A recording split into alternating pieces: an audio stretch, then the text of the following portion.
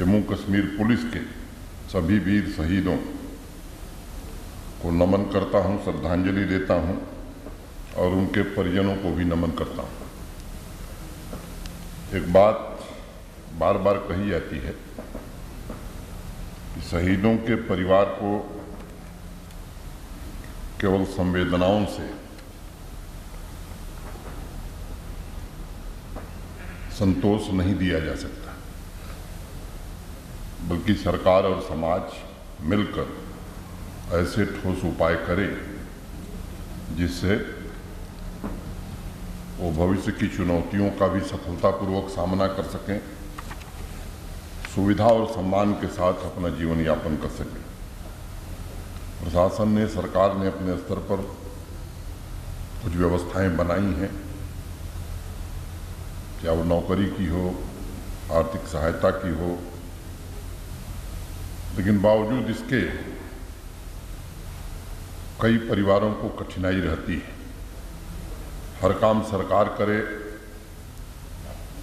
मुझे लगता है कि सरकार की ज़िम्मेदारी है, लेकिन समाज की भी अपनी एक ज़िम्मेदारी है। जिनके कारण हम सुख चैन से सोते हैं, जिनके बलिदान के कारण आज हम खुली हवा में सांस ले रहे हैं मुझे लगता है कि हमें भी इस बात पर सोचना चाहिए समाज के एक सदस्य के नाते कि हमारी क्या ज़िम्मेदारी बनती है। क्या हम ऐसा कुछ कर सकते हैं कि शहीदों के सिर्फ़ सम्मान पूर्वक अपना जीवन यापन कर सकें? और अगर समाज के सभी वर्ग के लोग इस बात को ठीक से समझें तो मुझे लगता है एक बेहतर व्यवस्था बनाई जा सकती है। मैं इंडस टावर्स लिमिटेड का शुक्रिया अदा करता हूँ, जिन्होंने अपने सामाजिक कर्तव्यों का निर्वहन करते हुए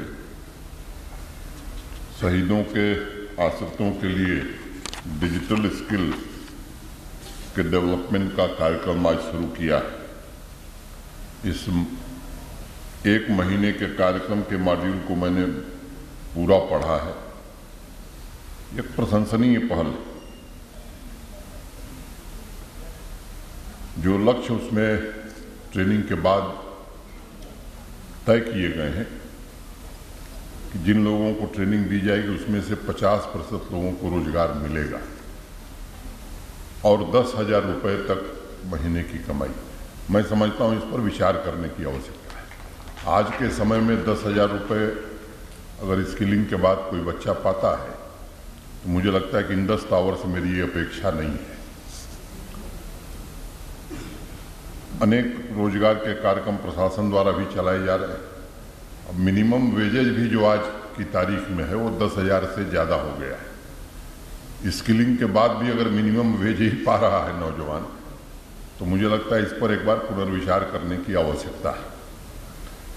मैं आभारी हूँ कि आप सबने यहाँ शहीदों के बच्चों की चिंता की है। मैंने अनुभव ऐसा किया है, अरे कई कार्यक्रम में खासतौर से स्किल डेवलपमेंट की, ट्रेनिंग के पश्चात कठिनाई और खड़ी हो जाती है। परिवार का ताना, समाज का ताना, कि आपने ट्रेनिंग किया, फिर भी घर बैठे हुए हो।